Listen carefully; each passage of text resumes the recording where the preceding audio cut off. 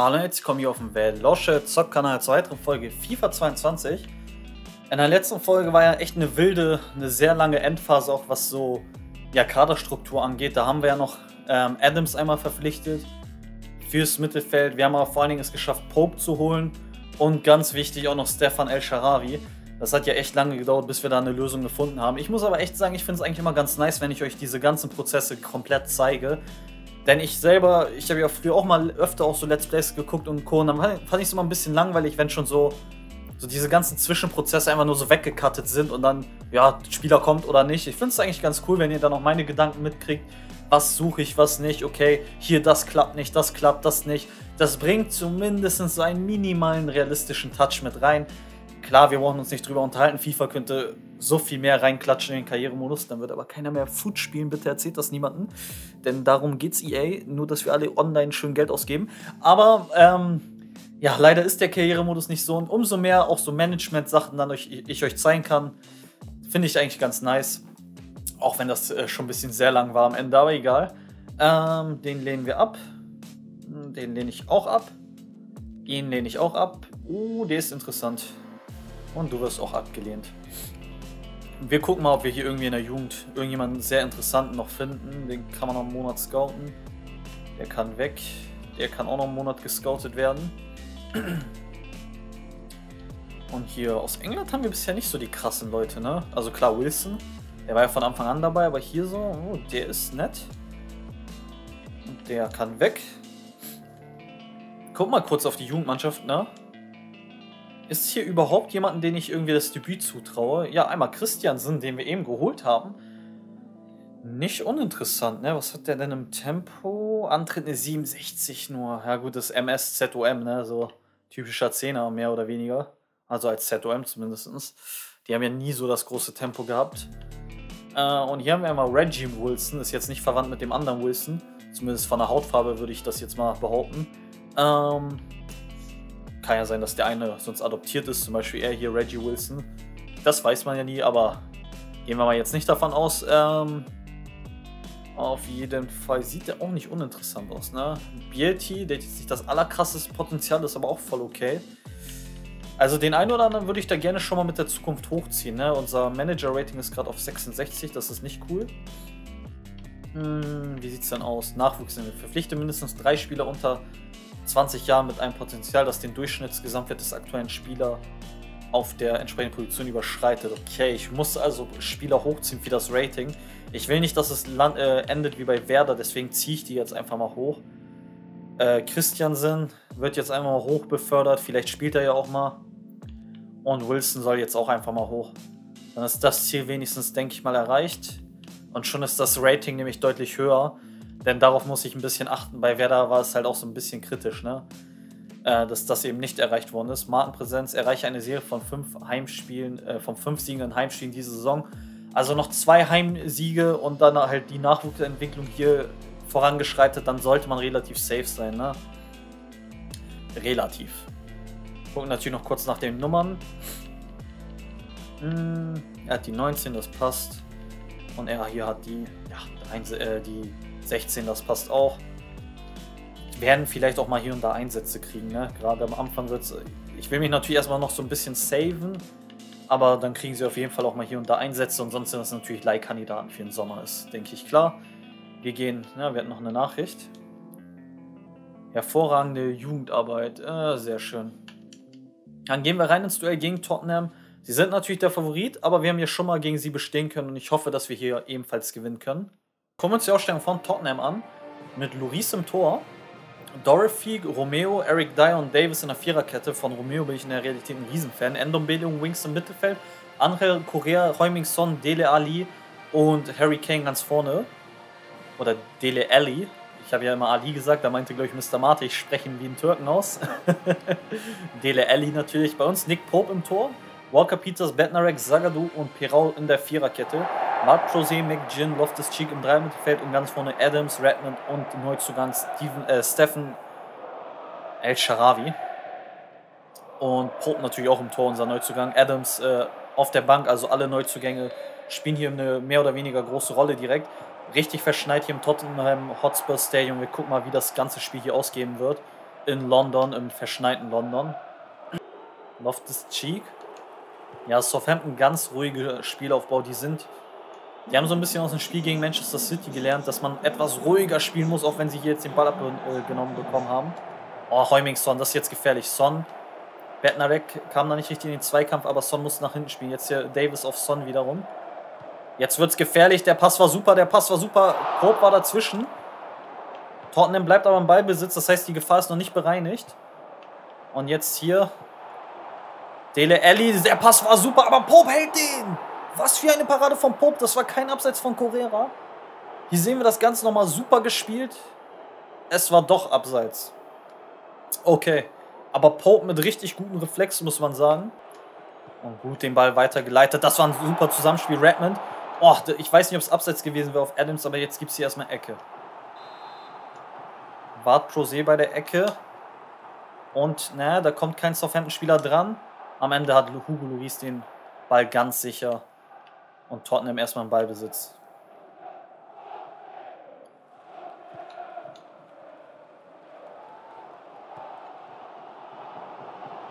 Ja, jetzt Son. Jetzt könnte es gefährlich werden, das war gut gemacht. Wie Heuming Son da eben durchkam. Son. Die Flanke sucht er nicht so richtig. Das hat man schon im Ansatz gesehen, dass er nicht so wirklich flanken wollte. Jetzt spielen sie es kurz in die Mitte.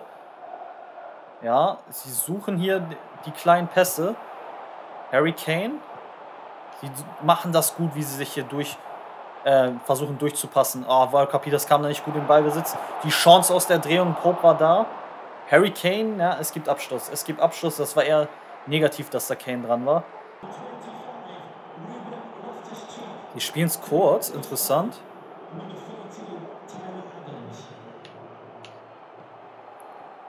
Jetzt hier, ja, da war ein bisschen Platz. Harry Kane spielt nochmal rüber. Son, aber Pope ist da. Solche Bälle muss Pope natürlich auch haben.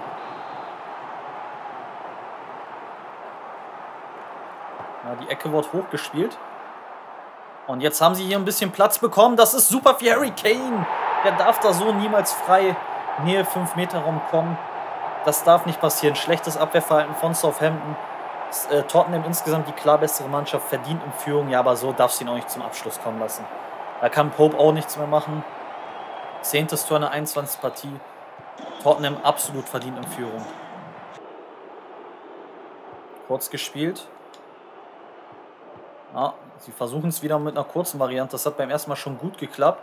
Das klappt dieses Mal nicht ganz so gut, weil Sagadu da ist. Der klärt das ein bisschen riskant, aber immerhin. Oh, Foulspiel an Adams, aber es gab Vorteil. Jetzt Adams. Oh, der Pass war gut. Sah im ersten Moment gar nicht so aus. Und jetzt hier Adams. Jetzt könnte es richtig gefährlich werden. Adams, die Flanke in den Strafraum und da überläuft jeder. Da muss doch irgendwann mal was passieren. Aber das ist ein guter Beigewinn. Das ist ein richtig guter Beigewinn. Jetzt mit der Hacke, der Schuss. Na, sie kommen nicht zum Abschluss so richtig. Und wenn, dann ist da immer wieder jemand dazwischen. Jetzt Harry Kane. Ah, und sie bleiben im Ballbesitz. Das gibt's nicht. Tottenham bleibt da im Ballbesitz. Hier war Perau gut dazwischen. Und jetzt geht es wieder in die andere Richtung. Jetzt kommt hier mal so ein bisschen Fahrt auf und das ist dann abseits. Jetzt über die rechte Seite. Ja, jetzt ist die Mitte da ein bisschen frei. Da war zu viel Platz. Dele Alli, das war schlecht bewegt von der Abwehr. Dele Alli hier mit dem Treffer 2-0. Tottenham absolut verdient gewonnen, muss man heute sagen. Southampton kommt kaum zu Chancen. Tottenham steht wie eine 1. Ja, absolut verdient das Ganze.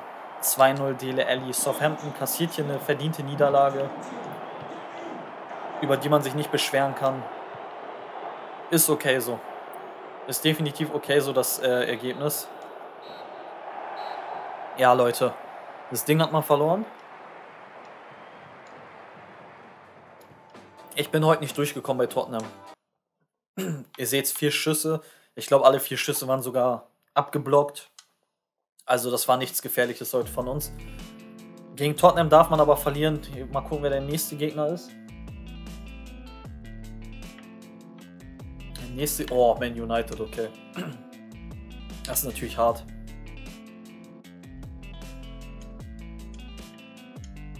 Gehen wir hier mal rein. Ich trinke nochmal kurz zu Ende. Ja, eben auswärts in Tottenham, jetzt gegen United. Gibt nicht viel bessere Gegner in der Liga, ne? Muss man ganz ehrlich sagen, United gerade Dritter. Es wäre schön, wenn wir einen Punkt mitnehmen können. Ne? Wenn ich auch hier wieder merke, ich komme nicht durch, dann werde ich einfach auf Defensive stellen und irgendwie versuchen, das 0-0 zu halten. Klar, wenn ich merke, wir können hier gewinnen, dann versuche ich es. Es wird nicht einfach, aber ich bin mal gespannt, wie es läuft. Gucken wir uns die Ausstellung von Man United an. Mit David De Gea am Tor, Van Bissaka, Raphael Varan, Victor Lindelöf und Luke Shaw in der Viererkette, Paul Pogba und Fred im ZDM, Mano Solomon, Bruno Fernandes und Jane Sancho dann im Dreimittelfeld da vorne und ganz, ganz vorne Cristiano Ronaldo 4-2-3-1-System, was hier United spielt. Southampton spielt wie im letzten Spiel mit Nick Pope im Tor, Walker Peters, Bednarek, Zagadou und Perron in der Viererkette, Bart Jose, McGinn und Loftus-Cheek im Dreiermittelfeld, Adams, Redmond und El Sharawi vorne. Also unverändertes 4-3-3-System wie schon gegen Tottenham bei der 2-0-Niederlage. Fred jetzt hier auf links gespielt auf Luke Shaw. Shaw. Bruno Fernandes. Er bremste ab. Walker Peters hat ihn super gestellt. Gar, stark gemacht von Walker Peters. Hat sich da gar nicht verunsichern lassen von den Bewegungen von Bruno Fernandes. Jetzt hier Adams. Adams macht es richtig, indem er in die Mitte zieht. Jetzt konnte er den Pass nämlich spielen. Das war richtig gut gemacht und der Ball ist drinne. Redmond. Super Laufweg von Adams gewesen. Ein richtig, richtig starker Laufweg von Adams gewesen. Redmond dann richtig gut gefunden. Schöner Pass in die Spitze. Redmond ist in diese Lücke reingelaufen, hat sich gesagt, ey, ich nehme diesen Laufweg jetzt. Schön überkreuzt auch das Ganze hier. Pass perfekt, Schuss ideal getroffen. Und so steht es dann 1-0 Southampton. Redmond direkt abgezogen. Sehr, sehr schön getroffen. Den Ball, der hat da keine Chance ranzukommen. In Pfosten rein. So muss das doch laufen aus Southamptons, äh, Southamptons äh, Sicht.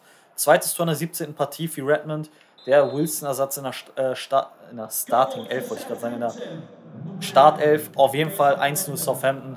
Ich habe ein paar Sprachfehler, aber das passt schon, Leute. Hauptsache, wir führen hier.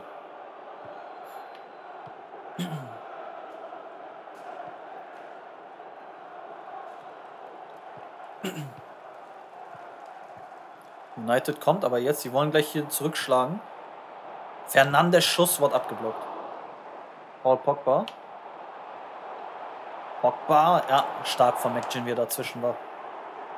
El Sharawi. Ja, und Southampton spielt es gut aus. Southampton spielt es gut aus. Und jetzt ist hier Stefan El Sharawi. El Sharawi. El Sharawi.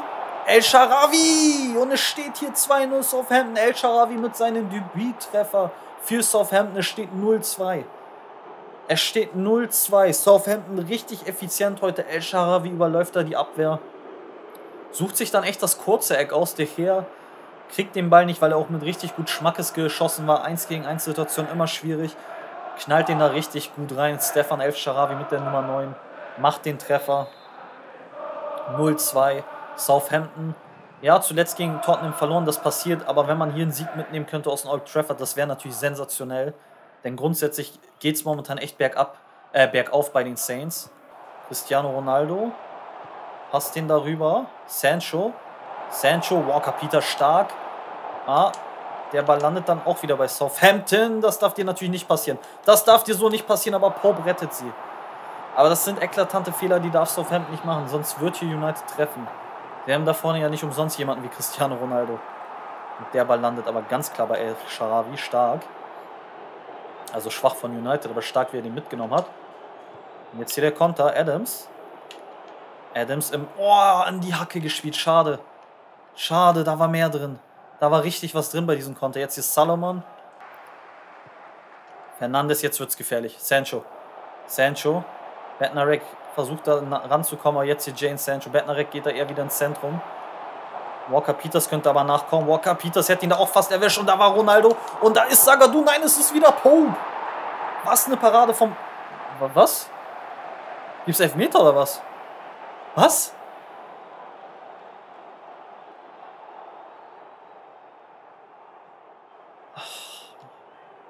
Es gibt Elfmeter. Es gibt Elfmeter. Pope gegen Ronaldo. Pope gegen Ronaldo und es steht 2-1. Es steht 2-1. Bitter. Bitter für Southampton. Ronaldo mit dem Treffer vom Punkt ist er natürlich einer der sichersten Spieler der Welt. Geht hier zu Solskjaer. Äh, müsste bald ein neuer Trainer animiert werden. Finde ich auch schade, dass es keine richtigen Trainerwechsel in der Karriere gibt, aber auch wieder so ein EA-Ding. Die wollen, dass hier nur Food spielt. Ähm, auf jeden Fall Ronaldo mit dem Treffer gut reingemacht, Pope in der anderen Ecke gewesen. Es steht hier also 2-1, United ist wieder zurück in diesem Spiel. Solomon, der hat die Geschwindigkeit. Jetzt der Pass Fernandes, das gibt's nicht mehr. Pope. Pope. Was macht Pope da? Wir geben so viel Geld für ihn aus. Ne? Der macht einen guten Eindruck. Aber das, also wenn ich sowas will, dann kann ich auch Mandanda behalten. Der hält die Haltbahn auch meistens. Aber was sind das auch für Animationen? Ich kann doch nicht sein, dass du die ersten Oblak holen musst, dass du da vernünftigen Keeper hast. Ja, come on, Alter. Das hat nichts mehr mit den Torhütern an sich zu tun. Das ist einfach eine Animation vom Vollidioten. Jetzt mal ganz ehrlich, wegen so einer Scheiße da, da, ehrlich gerade mein Lustlevel ist von oh voll geil auf Boom. Nicht wegen dem Gegentreffer, sondern wegen der Art und Weise. Jetzt hier der Eckball. Oh, was ist das? Was ist das, Prob? Oh, das war ein bisschen Chaos gerade. Nächste Ecke für United. Nächste Ecke United. Die wird diesmal von Armstrong geklärt, aber hier ist noch Salomon dran. Salomon Ach, jetzt hier Sancho, nee, Armstrong hatte den. Und jetzt hier Adams.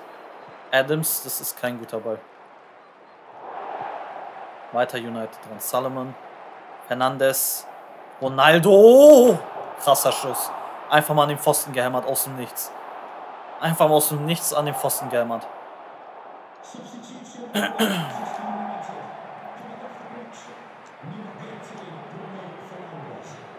Loftus Cheek.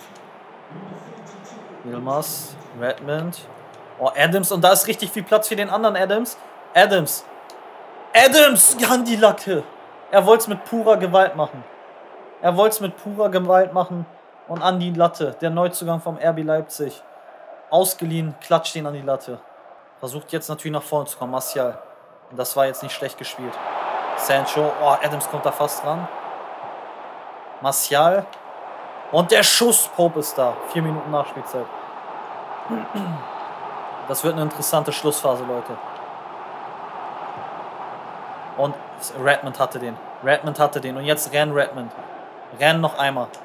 Redmond mit dem Pass da auf Adams sucht er da. Fred, Van Bissaka klären das. Okay. Aber es ist noch nicht entschieden. Es gibt noch zwei Minuten zu spielen. United hier im Ballbesitz. Pogba jetzt hier auf Martial. Martial. Oh, mit dem Lupfer in die Mitte. Nein, Bettnarek war dazwischen. Wart Posé. Redmond. Nochmal Adams. Bringt den Ball dann nicht mehr auf Redmond. Wieder United im Ballbesitz. Es geht hin und her. Oh, was ein Pass! Was ein Pass! Was ein Pass! Alter. Der Fußball ist manchmal so hart. Und FIFAs scheiß Animation. Ein Elfmeter, eine Animation von einem Volltrottel und dann ein Weltklasse-Pass. Und so verlierst du dieses Spiel. Das ist bitter. Einfach Weltklasse-Pass. Wirklich ein zuckerhafter Pass von der Nummer 32 gespielt. Zuckerpass. Hope kann da nichts machen. Martial hat das Ding reingeknallt. Drittes Tor in der 13. Partie. Also jetzt hier United. Ja, wahrscheinlich ja, mit dem Siegtreffer. Ach, bitter. Bitter. Klar, mit Punkten rechnest du nicht gegen United, aber es wäre schön gewesen. Es wäre schön gewesen, hier wirklich äh, Punkte mitzunehmen. Wir waren nicht viel schlechter. Am Ende verlierst du zweimal gegen große Teams. Wir gucken gleich mal auf den Spielplan, was so als nächstes abgeht. Everton, Norwich, Aston Villa, Watford, Burnley, Leeds. Also die nächsten Spiele sind wieder gegen Teams, gegen die wir gewinnen müssen. Also auch hier, das, das ist nicht so, dass wir jetzt in einer kompletten Katastrophe sind. Klar, der Nichtabstieg wird schwer. Es sind sechs Punkte, Leute. Das wird sehr schwer. Aber es ist noch alles möglich, das wollte ich sagen. Das ist das Gute. Wir gucken, wie weit wir es schaffen, ob wir den Abstieg verändern können oder ob wir in Liga 2 weitermachen müssen. Euer Velosch meldet sich auf jeden Fall fürs erste ab und bye bye.